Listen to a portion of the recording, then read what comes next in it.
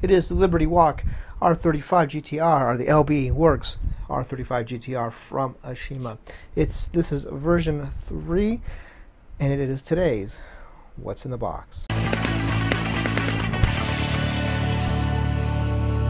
Everyone, welcome into another What's in the Box look, and today that is the Liberty Walk R35 GTR from Aoshima. This is going to be the third version that they have released so far, and so we're only going to focus today on the new parts for this kit, which is just going to be basically the hood, the front fascia, and that's really about it. Uh, everything else is pretty much going to be the same, even the wheels, so it's just the front end is going to be what is the new parts. So let's get to it.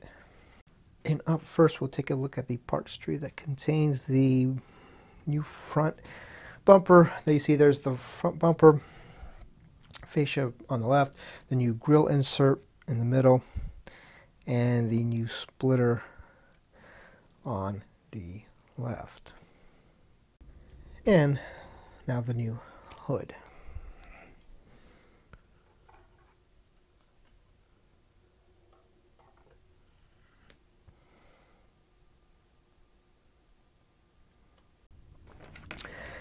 And last but not least, uh, the wheel sleeves are going to be chrome in this version, which in the other versions they were molded in black. So the new molded in chrome wheel sleeves.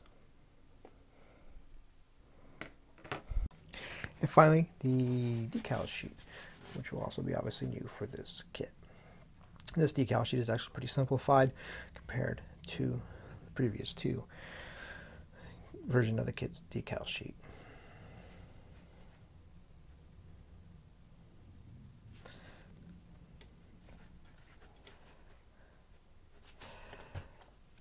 There you have it. That is the Liberty Walk R35 GTR from Aoshima version 3.